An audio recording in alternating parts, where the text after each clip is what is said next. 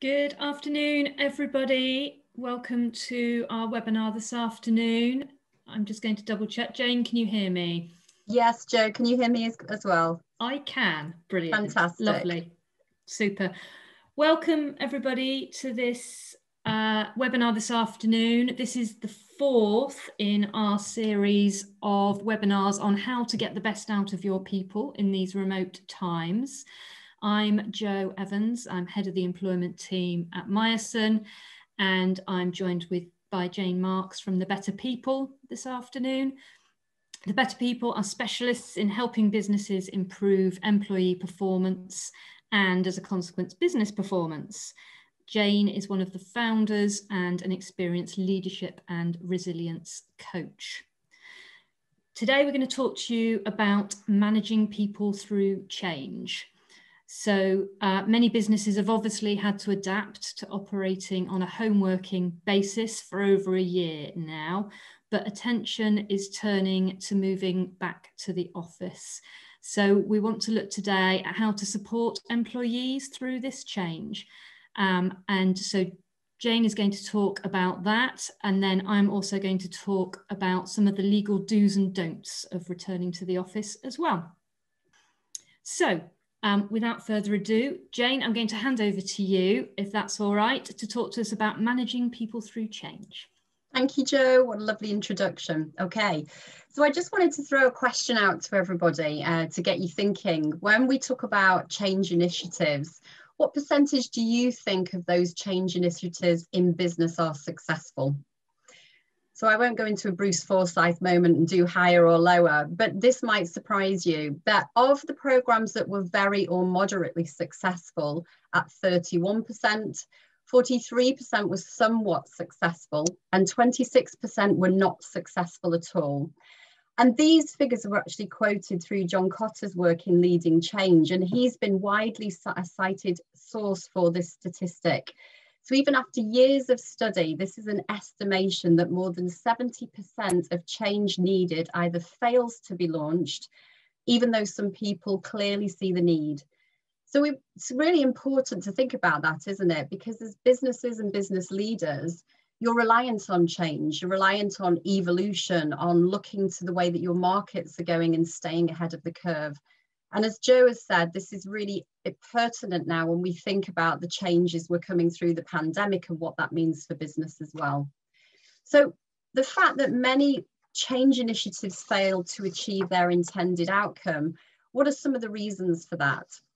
So I just want to share again some research in this area for you to start to consider why these change initiatives fail to get off the ground. And here you can see some of the main reasons for this. But what you'll be drawn to see from this statistic is that the single biggest reason that employees' resistance to change is also going hand in hand with the fact that management aren't supportive of the change. So the biggest contributor to the level of resistance to change is that employees just don't either believe in it or want to change throughout that initiative that you are, are putting forward in the business. And having well prepared leaders equipped with the right information is essential to support that change. So not underestimating the amount of work that's involved there, the amount of information that your, your management team need to get that change initiative off the ground. This, as you can also see, is followed by investment and resources, having adequate budget, and other factors which include actually sitting down to think about the execution of the project itself, the project plan. And I know having worked in organizations for many years, as leaders or business owners, you will often be two steps ahead of the rest of your workforce in terms of seeing the change, working your way through it with your management team.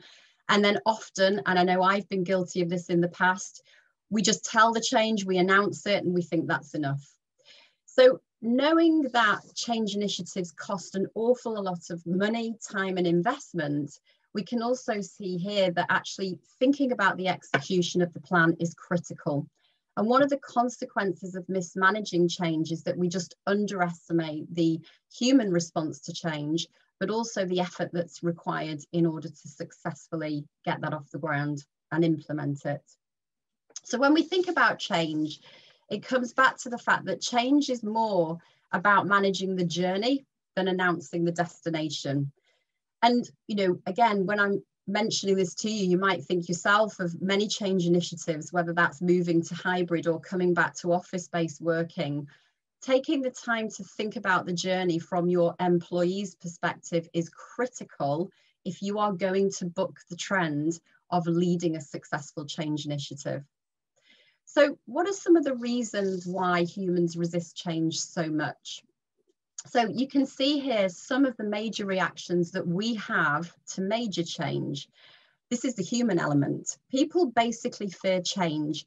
And when we're faced with change, we have a number of different reactions that you can see here, right the way through from anger to hopeful and energized. But the bulk of us in the middle are a little bit skeptical, maybe a bit fearful, often distrusting about the intentions of why we are doing this, or uncertain but open.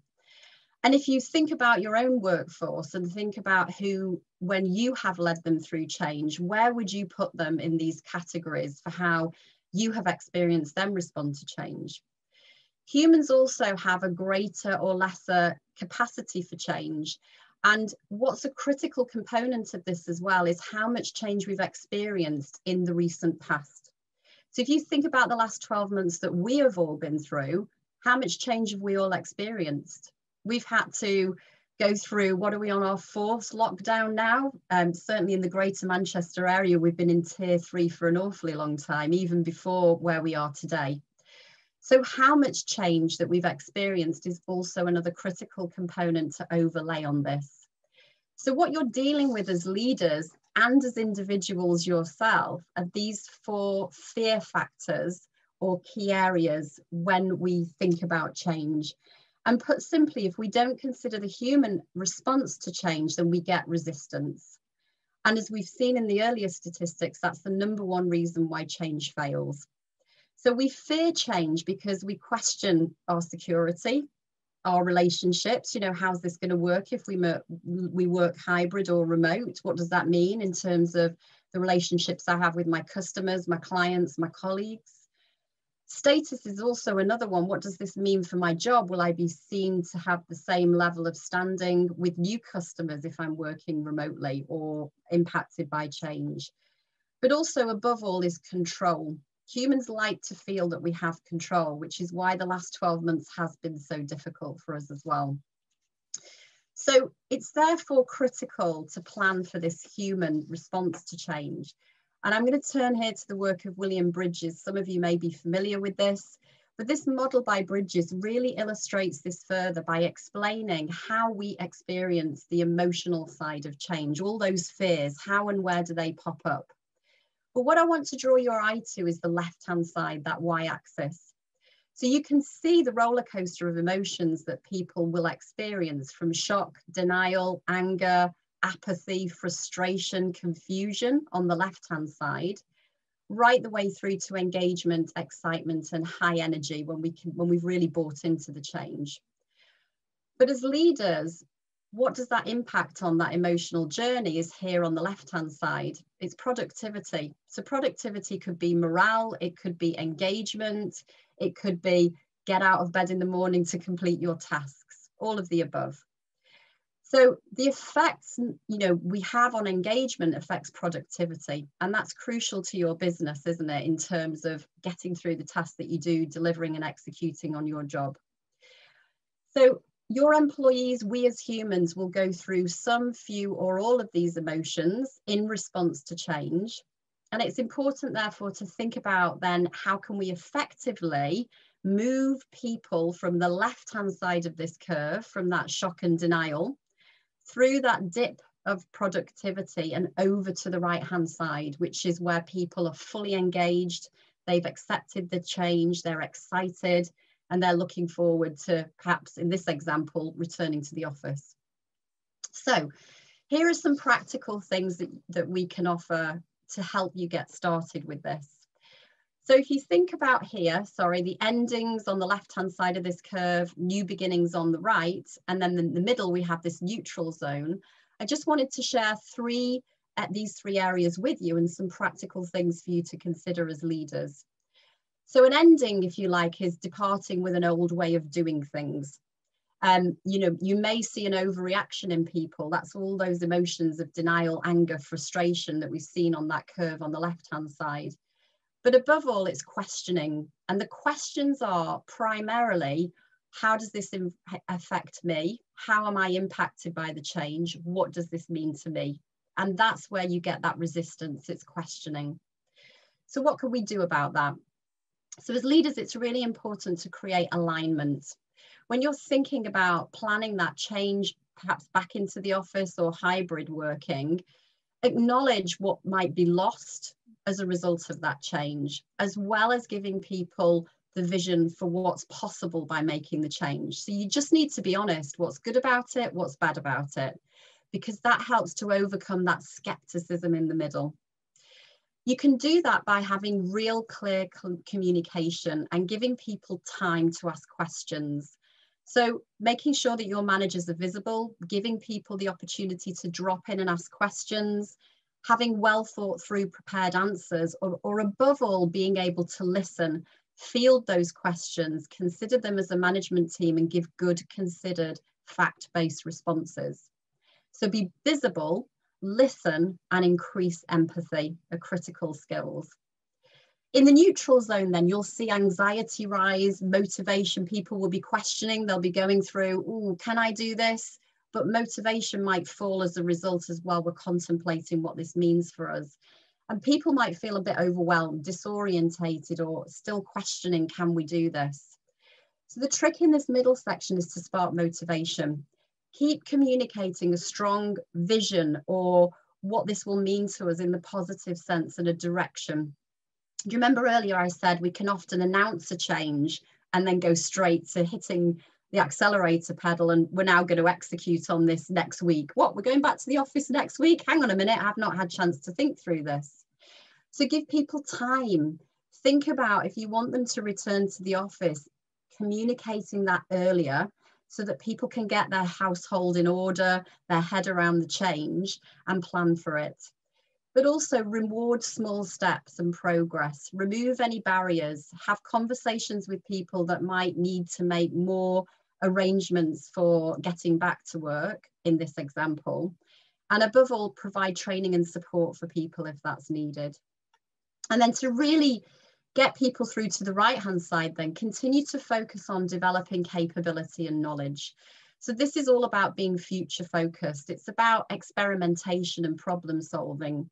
Humans love to problem solve. It's why we like doing Sudokus or the crosswords or jigsaws. So again, think about moving people from the left to the right hand side of this curve by inviting them to be part of the solution. Sometimes as management teams, we feel that we've got to have all the answers, but actually engaging your team in working through how can we successfully move people back to the office also helps to bring people with you.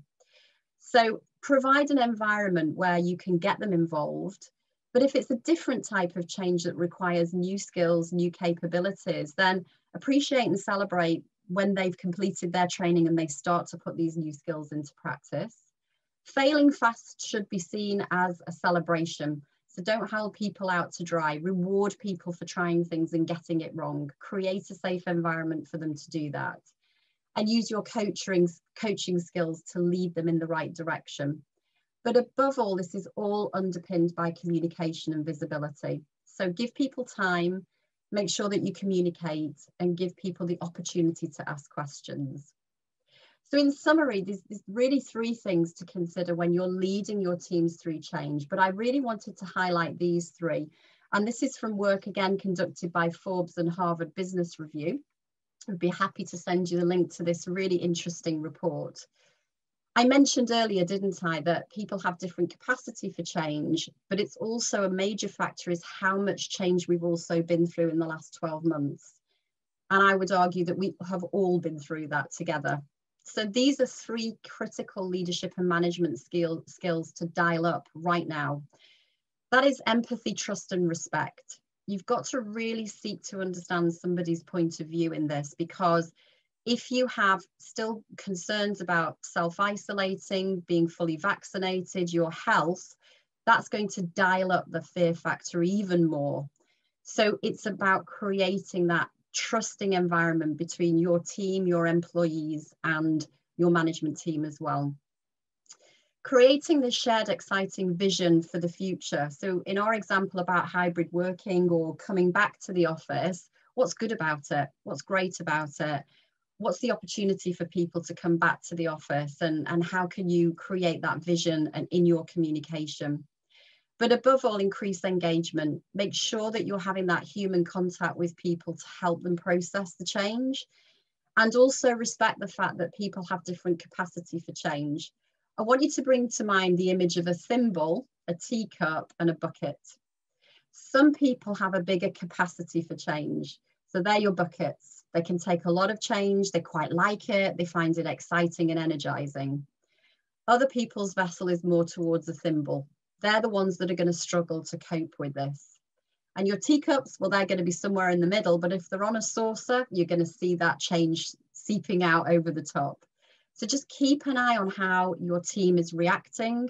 And you can do that by checking back on that emotional response to change.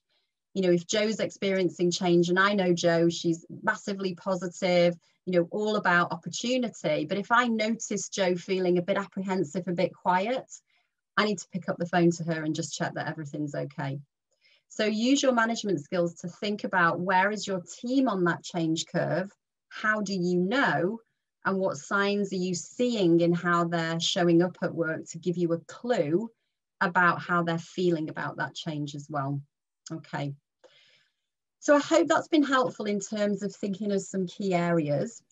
There are also, we're going to provide this to you as well as a handout from today if you are considering making that change to hybrid working, then here are some really interesting tips for you to consider. And this is, has come from a recent report from um, the Chartered Institute of Management that I thought would be really relevant for those of you on the call today who are considering this or who might already be making this transition. So I'm not going to go through these seven in detail, but I will just touch on why these are so important the fact that people have been working remotely in certain sectors for some time is going to be quite a shock if you then say to them, you know, you've got to be back in the office or we're going to measure you on your inputs. By far and away, and we mentioned this in one of our earlier webinars, managing people by outcomes brings out the best in people. So remote working has now changed the definition of productivity and it's adapting the way that you measure the impact of your team, the contribution of your team and, and employees to a more outcomes focused rather than output sourced inputs. So that's measuring them by their outputs rather than their inputs. Trust is really crucial when we talk about hybrid working. The physical workspace has become, you know, a degree of control for us as managers. We can see people in the office. We can get a little bit fearful when we can't see people. So again, avoid micromanaging people and you know, trust is critical to productivity. So if your teams have performed well remotely, you need to acknowledge that. And remember that if there's been little impact on the outputs and the productivity of your team, then again, avoid the temptation for them to feel like you're going back to micromanagement. Again, work is what you do. Um, work is no longer where you go, it's what you do. So under a hybrid model then, you know, it's considering all the benefits that you've had as employers having worked remotely and what can you hang on to when you go back. And the other thing as well is this, you'll need to run things differently. So think about how you run your meetings. You know, they, they may need to evolve. Your working practices are going to need to change, aren't they? So how can you make sure that your working practices and your workforce planning are set up such that you can have people working remotely as well as physically in the office as well. But I will send you the link to this report because it is really, really fascinating. It's got some really useful insights if you are on that bridge to considering moving to hybrid working. But another massive factor to this and really important is the legal aspect. And this is where my expertise completely runs out. So I'm going to hand to Joe, who's going to cover off the legal considerations for hybrid working. So Joe, I'll hand to you now. Thank you, Jane. That's great. Really helpful. Thank you. Um, we're now being asked lots of questions by clients about returning people to the workplace and the legal pitfalls and um, uh, issues to watch out for. So I just wanted to take the opportunity today to cover a few of those off. Um, looking first at the current legal framework and where we are in this COVID journey. Um, the guidance from the government continues to be at present continue to work from home if you can. Obviously, lots of businesses have returned to work because their employees can't work from home, but a very large number of office workers um, have proved over the last 12 months they can work from home and so should continue to do so, says the government. Um, but I think increasingly employers are testing the water with employees returning into the office. Um, and that is fine, although you do have to have COVID secure workplace arrangements. Um, you've got obligations um, to protect the health and safety of your employees. You've got obligations to carry out risk assessments and make sure you implement any appropriate changes to keep people safe at work and the important thing is, as I think we've all learnt over this journey, is how things change and how quickly things change. So it's checking back to the government guidance all the time because it's changing all the time and you need to make sure you stay compliant. Think about whether you want to test staff. Um, it's not compulsory, but um, a lot of employers have introduced lateral flow testing for their employees. Uh, it's encouraged by the government and it's reassuring for staff as well. Um, think about your vulnerable and your reluctant returners. Um, I'm sure that there are plenty of people out there, they're on that change curve that uh, Jane's just been talking about. Um, it's really important to talk to them to understand their concerns. Uh, you have a legal duty not to put your employees in serious and imminent danger but if you have carried out your risk assessment and you've put appropriate COVID secure arrangements in place at work, you can be saying to employees, you should start thinking about coming back to the office now. Um, if you get serious resistance, um, question what you do about that. You might want to say, okay, continue working from home. You might want to say, it's really important to us that you come back to the office and therefore take unpaid leave if you don't come back um, you might ultimately get to disciplinary um, situation. Although in the current environment, with the government guidance saying work from home if you can, I think that would be quite brave. Um, step four will be the next change. It might be on the 21st of June. Obviously, we're waiting for the government to tell us whether that will be the case or not. The intention is that all social distancing obligations will fall away at step four, but again, we, we don't know for sure whether that's going to ha happen or not. And obviously that will make a big difference on the environment at work that people will be working in. So we just need to keep an eye on that. But in the meantime, plan for the future now. Um, get get your arrangements in place start your communication with your employees to make sure you're getting a good change process in place. Keep flexible with your plans because things might change but start that consultation and communication with employees. Think about whether you want everybody back on the 21st of June or the start of step 4 whenever that will be.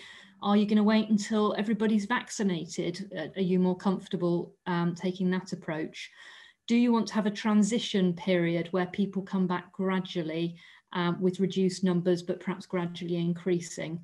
Are you going to have everybody back, everybody at home, or a hybrid arrangement? Get, answer those questions now and start talking to people now about that, and, and, and that gives you the best chance of success.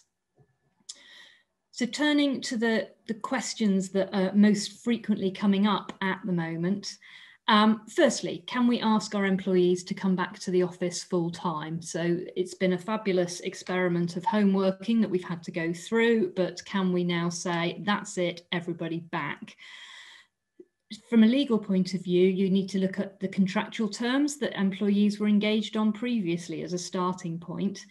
Um, at, when the pandemic started, everyone had to go home no matter what their contractual terms were, obviously, because it was a, a state of emergency. But as the impact of the pandemic comes to an end, um, arguably we revert back to those terms in people's contracts and, and most people will have contractual terms that say you are based in the office and you work in the office full time. So from a contractual point of view, that should be straightforward. However, two things that are really important to think about. One, we've covered at previous webinars. If you don't give people choice, then they their effectiveness reduces. If they've worked well at home and you're then insisting they have to work in the office, they're going to be disgruntled about that. Secondly, you've got the risk of constructive dismissal claims. Um, employees may well argue that they've worked effectively at home and therefore it is not reasonable to insist that they come into the office. We're anticipating this will be the big area of claims that are arising over the coming weeks, depending on how employers treat their employees. So really important to listen to employees' concerns, act reasonably um, why do you need everybody in the office all the time? Is it for supervision? Is it for collaboration? Could they do some of the, the, the working week at home? What are other employers doing in your sector? Are you out on a limb or are you being uh, uh, approaching things in the same way as most others? Really important questions. Can we introduce hybrid working? Um, I, will make the assumption that that will require a change to your terms and conditions of employment um, because most people won't have had that in place. Some will, of course, but most will not have had that in place in their contracts previously, pre COVID. So, if you need to make a change to terms, then you need consent from employees. You can't impose a change without consent. And therefore, it's really important to consult with your employees and reach agreement legally, obviously, but also for employee relations reasons. So be very clear about why you're suggesting the change. I mean, I would imagine with hybrid working, a lot of people will be very happy with that now. Um, it, that seems to be the direction of uh, travel. Be clear, are you offering it as an option or is it compulsory? um, explain why you're suggesting the arrangements you're suggesting. And as Jane has said, and as each of these webinars, we talk over and over again about communication is, is the underpinning uh, principle to all of this. What about permanent home working? This is something that employers are looking at, or some employers, they're realizing the financial savings of uh, not having office space. Um, can you say to people, that's it, you've done your job now for the last um, X months at home, don't come back to the office?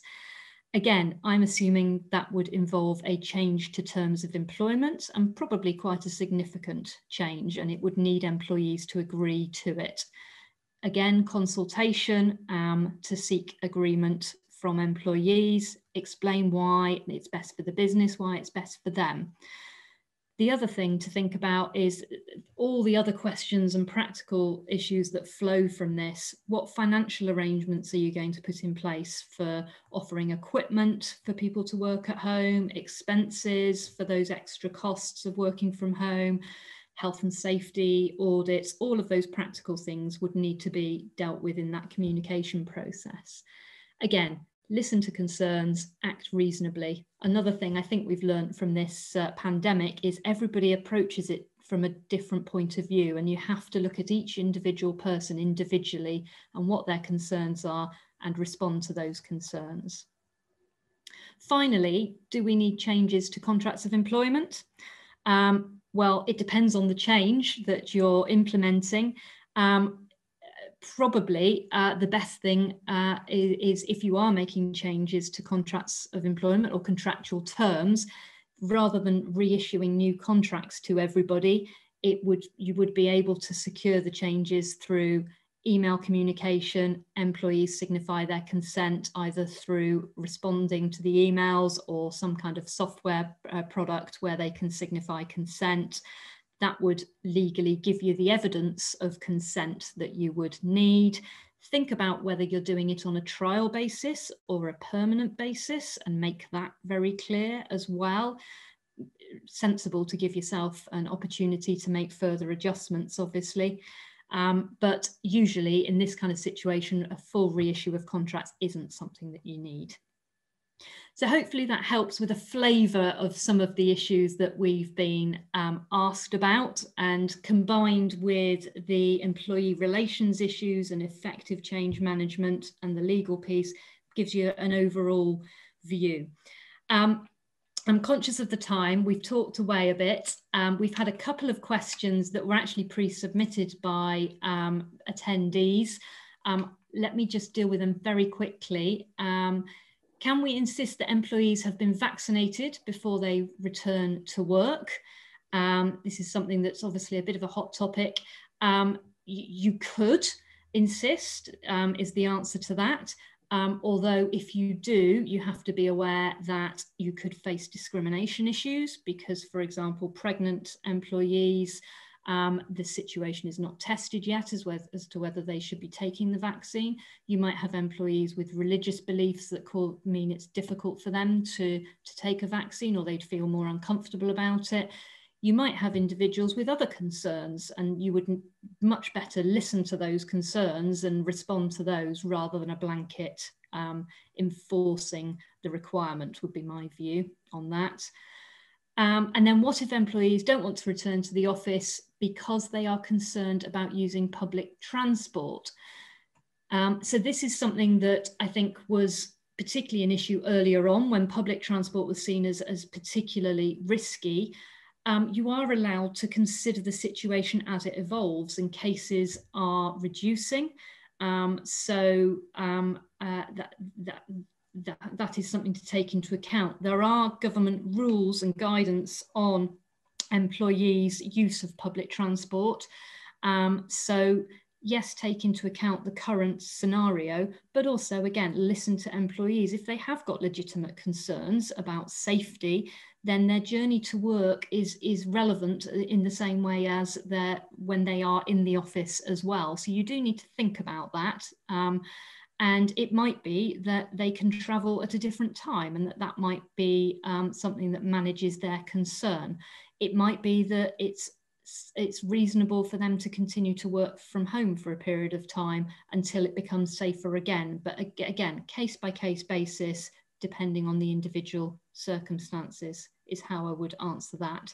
I've counted through those. Jane, I don't know if you've got any thoughts on on those as well. No, I, I'm not even going to waft into legal areas, Joe, but you're absolutely right. I think, you know, as we've said, all the points that you've made, it's communication, isn't it? It's, it's talking it through with those individuals and trying to establish what their concerns are and, and ultimately trying to reach a compromise or, as you've suggested there, Joe, how can we transition? You know, could we wait a while? Could you work from home for a little bit longer and then and eventually come back? So no, thank you, Joe. Great. Super. Well, um, as I say, conscious of the time, so um, I will move on. Um, final few comments and points just to make to, to wrap things up. Um, as I said at the outset, this was the last of our four um, webinars that uh, we've been running. We've talked about motivation, engagement, resilience, uh, all sorts, and we will send you links to all of those um, videos. So if you do want to watch them again, you can. Um, I think they all continue to be very relevant, even as we are hopefully returning to some normality. Um, then uh, I think home working is going to be a big part of all of our lives for the future nonetheless. Um, so we will send you the links to those as well as the slides from today. Um, uh, as per the slide that's flashing at you now, we'll also let you have details of our new Myerson HR portal, um, which is very disconcerting. I've just seen myself on it. Um, it's just been launched. Um, free access to a wealth of HR documents, guidance, precedents, resources, um, so if you are interested in signing up for that for your business, then please do let us know um, and we can uh, explain how to do that. Um, I'm told that when the webinar finishes, there will be a Zoom feedback form that pops up for you to complete. We'd be really grateful if you would fill that out for us. Um, we do review all feedback we get. It helps us make future events um, that much more relevant to you and as useful to you as possible. So it, uh, we'd be really grateful if you would fill that out for us. Um, do get in touch with Jane, with me, or with anyone else in our teams. Our contact details are there. If we can help with any issues that we've talked about today or in the other webinars or indeed at all, then please do get in touch um, and we'd be delighted to talk to you.